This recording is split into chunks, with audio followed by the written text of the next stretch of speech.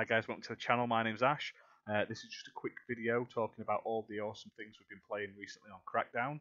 Uh, specifically, mainly the uh, Crackdown 3 multiplayer mode Wrecking Zone. Now, um, a guy on Xbox under the gamer tag Bouffant Lizard 8 has set up an awesome club called Wrecking Up. So that's W R E C K I N G U P, no space.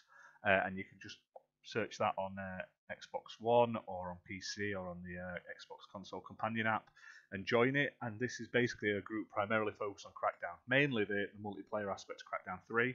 Uh, we're organising games every couple of nights. We've been getting full 5v5 lobbies.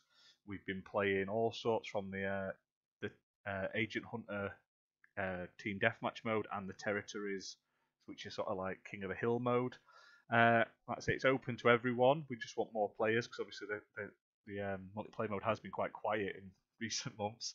But honestly, it's such a good, fun little game. Uh, it's fully destructible environments compared to the main game. Uh, you don't always need 5v5, but we've been trying to get as many players on as possible. Mainly as well because it, it's more fun with 5v5. Plus, you get more kills and uh, more captures and everything like that. It makes the games last longer. It also makes the uh, the achievements easier to get because uh, some of them, like I say, it has its own 500 Gs compared to the main game, which has its own 1000 plus G now with all the expansions. But the only way to get it is by playing multiplayer. So what I'll do is I'll put all the links down in the description below.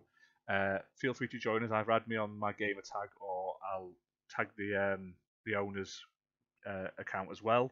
Uh, add us because we're always looking for people to play. And like I say, I've been playing every couple of nights for the last couple of weeks. It's been absolutely a right laugh.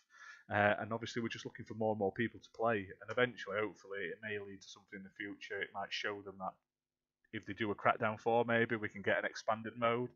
Hell, I'd be happy if they just added one new map to Crackdown 3 Wrecking Zone. But we're not just focused on multiplayer. We've been playing the campaign, the um, the code campaign, and we're also looking at doing some Crackdown 1 and Crackdown 2 as well. So you're welcome to come and chat, post your pictures, everything like that. But just join in and uh, spread the word. Basically, the more players, the better.